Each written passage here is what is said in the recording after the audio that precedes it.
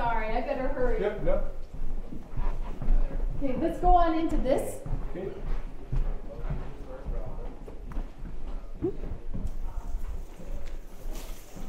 So the madam's office, which there would have been a, oh no, one of my coworkers was probably, It's beautiful. it's beautiful, but It's it it belong here.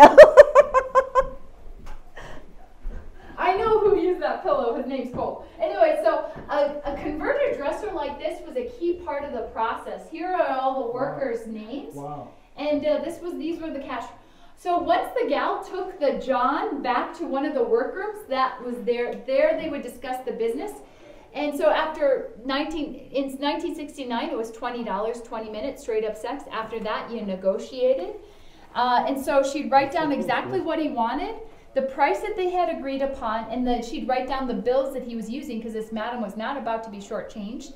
And then before she started working, she'd come in here, put it in her slot. Rarely would we accept checks unless we knew who your great aunt's mother's name when where your family lived. Anyway, you had to be a regular to get a check. And there she would put her cash, the bills in there, and then away she'd go back to work and push that timer. Uh, at the end of the night, the madam would come in here, unlock this drawer, and she'd count the stash of cash.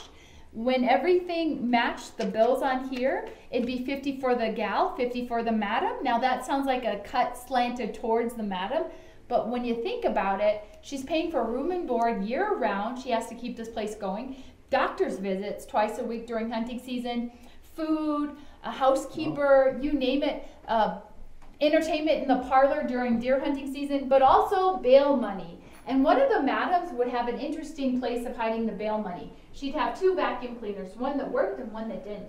And the one that didn't had $5,000 cash. And if she ever got raided, and with those local police ha- having their sticky fingers, she'd take that bag out of that vacuum cleaner and away she'd go, either to just save it or to bail her gals out. Wow. Uh, every madam would would have a safe, and uh, in it she'd have guns, address books, and documents, plus lots of cash.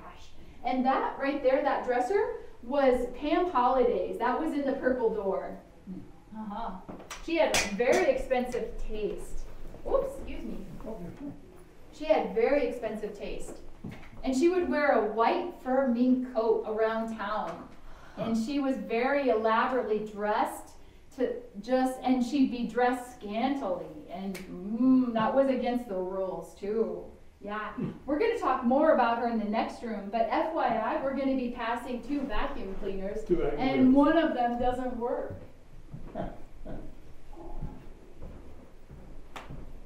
Okay. All right, that's where the pillow goes. yep. I was wondering where that pillow went to. So, um, yes, interesting. So there she is in all her glory. You might want to get your video. Is Madame Mustachio? Yes, it was a mustache. She was French, right? And uh, in her early 20s, she had a divorce. And it was very uh, nerve wracking on her. And so she was so stressed out that her hair grew especially fast and at that short amount of time. And she decided to never shave it after that. By the way, the men of Deadwood would come to her for business advice, not because she was so smart. She had run brothels in other states like Arizona. And you wanted to work for her because you could make a lot of money working for her. And ironically, they had a lot of, ma- many people respected her. I guess she held her own with the men because she had a mustache and she was a very smart businesswoman. Then there's Dora DuFran who said you can't run a sporting house on creek water. Doesn't she look like she said that? Yep. Uh, well, she and her husband Joe had a string of brothels all throughout the Black Hills, including over in Belle Fourche called Didlin Doris. She passed away in 1934, and she's buried next to her husband Joe and her pet parrot Fred. She was quite colorful and very rich. Uh, down here is Poker Alice Tubbs. She was a little spitfire. She was known to be a better poker player than a brothel, a madam, but she did take out a two-year bank loan down in Sturgis, and she paid it back within one year. And the Bank of Sturgis goes, Alexander Army of the Republic was having an encampment. I knew that the State Oaks was in town, but I plumb forgot about those Methodist preachers having a church conference. Praise the Lord, hallelujah. Uh, so these three caricatures up here Yeah, yeah. are the last three madams standing. And up Down here at the bottom corner is Tommy Cox. She's the madam of the beige door. We don't know much about her. She comes sometime in the 60s. Over here to the far right is Dixie Fletcher. She's a hot headed Irish woman with a heart of gold.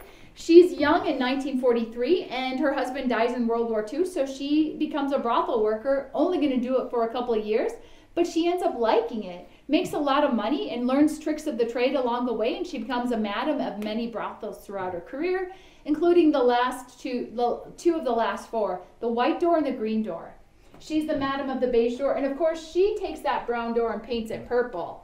And uh, she's she comes in 1975 She's 44 and she's from Montana, newly divorced. So what do you do? You become a sex worker. Woohoo, celebrate. Anyway, so she's the madam next door and she's a rule breaker. She's wild, she's crazy. And you know those uh, set of rules that all the madams follow? Oh, well, guess what? She doesn't follow them. And also, she uh, takes a liking to cocaine and barbiturates, which makes for bad business decisions. Yes, and uh, she bragged about how much she made and the fact that she didn't have to pay taxes. Oh, oh, that really ticked her off. By the way, it was said if you had any problems, you didn't go to the police, you went to Dixie. Really? Yeah, she was a pretty tough, tough broad. Yep, she had a lot of power in this town, lots of money.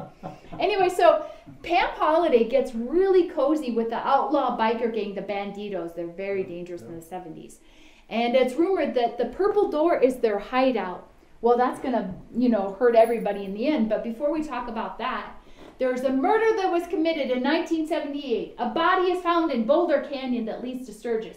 His name is Walter Morton, and the way it's done, rumor is it was mafia. And it was also rumored that the mafia was trying to elbow its way into the brothels in Deadwood.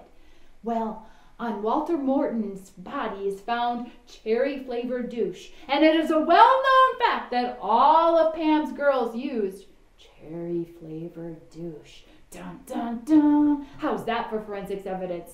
Yeah. Yep. hmm So uh, now we've got two South Dakota DCI agents coming around investigating mostly Pam's Purple Door, but these doors, they could care less about the brothels. They're looking for the mafia being involved. They're looking for stolen goods, uh, breaking of liquor laws, etc. They and it was rumored that one of those DCI agents goes missing forever. so they just let go of that investigation because I think they found out that there were people high in power that were involved. So they just let it go. Wow. So a year later, another murder has been committed. This time it's 1979 down in Texas. U.S. District Judge John Wood. Well, the Bandidos hired a hitman, Charles Harrelson, Woody Harrelson's biological father, and they hired a hitman to shoot that judge. Well, it was rumored that that murder weapon was being hinted at. Any any guesses? The purple door, right next door, in fact. Pam, naughty, naughty, naughty. Again! So now we've got the local feds coming around and they're investigating it. It's called Operation Hotbed. And so they're coming around and they're interviewing these two, plus the shared uh, housekeeper and also sex workers. And they're spilling their guts, right? Well, on the morning of May 21st, 1980, two FBI vans pull in the Badland region. They get out and they